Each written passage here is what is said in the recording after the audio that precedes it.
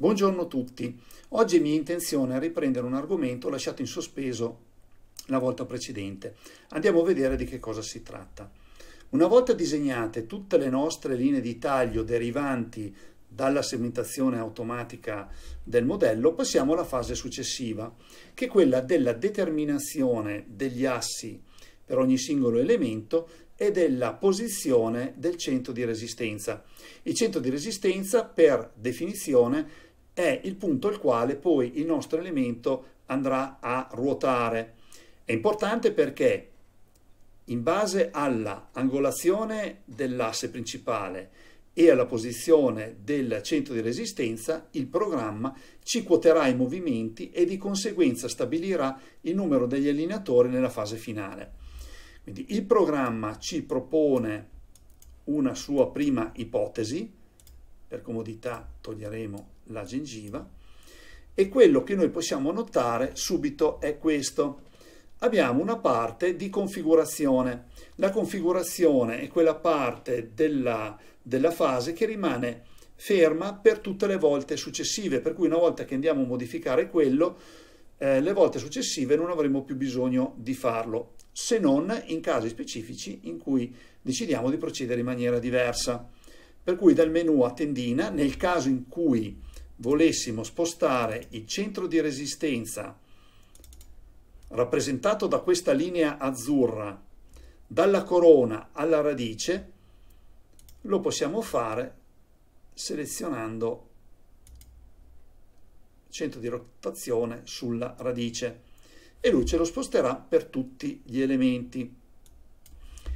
Nel caso in cui per un elemento decidessimo di procedere in maniera diversa, possiamo fare questo, lo selezioniamo, da questo menu tendina, quindi non più da quello ma da questo, andiamo a cambiare la selezione e lui ce lo pone, scusate, e lui ce lo pone sulla corona.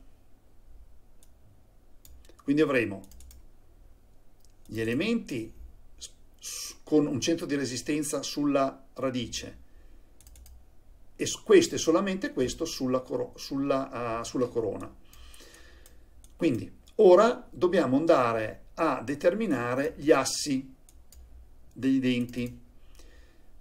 Procediamo con quelli che sono palesemente, palesemente sbagliati, abbiamo la possibilità di vederlo nel contesto di tutta l'arcata oppure di andarlo ad isolare attraverso i cursori, questi cursori possiamo praticare una traslazione dell'asse, mentre invece attraverso il manipolatore andiamo a modificare quelle che sono le angolazioni.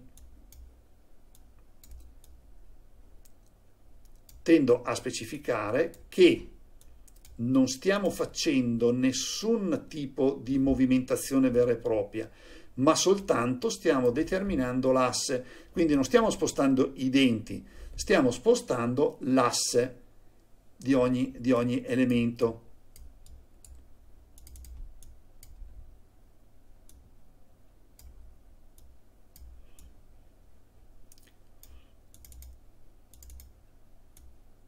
Il pallino rosso rappresenta il punto FA, quindi il centro geometrico della corona clinica. Questo è un parametro che ci può servire per posizionare meglio um, l'asse. I valori che vediamo espressi in gradi qua in alto sono le inclinazioni del denti in base al piano occlusale stabilito in precedenza, stabilito all'inizio di tutta la procedura. Questi parametri ci possono essere utili in caso di richieste particolari di movimentazione.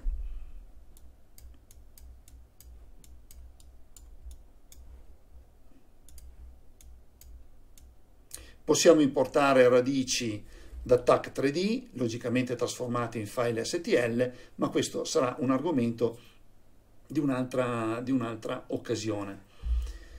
Abbiamo la possibilità di spostare il centro di resistenza anche in altezza andandolo a modificare con questi parametri. Vedete che si sposta, e lo possiamo fare anche qua singolarmente per ogni elemento oppure per tutta l'arcata applica applicando questo selettore. Direi che siamo pronti per passare alla fase successiva e qui abbiamo il modello pronto per andare in fase di setup e quindi di movimentazione. Quindi da Virtual Setup, icona Virtual Setup e passiamo al cuore del programma stesso.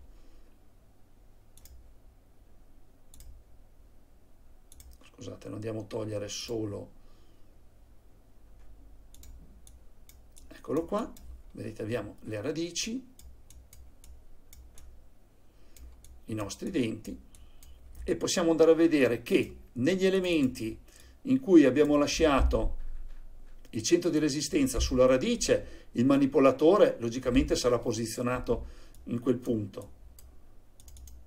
Questo elemento, invece, in cui avevamo deciso di spostare il centro di resistenza sulla corona, avrà il, il manipolatore posizionato in quel senso. Va da sé che se è posizionato in questo punto, i movimenti saranno di questo tipo e quindi verranno valutati di conseguenza.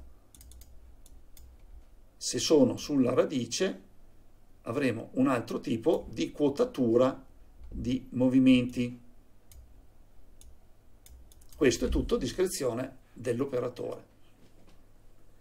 Sperando di esservi stato utile anche in questa occasione e considerando il fatto che il mio caffè è diventato freddo e quindi me ne dovrò preparare un altro, io vi saluto e vi do appuntamento alla prossima occasione e arrivederci.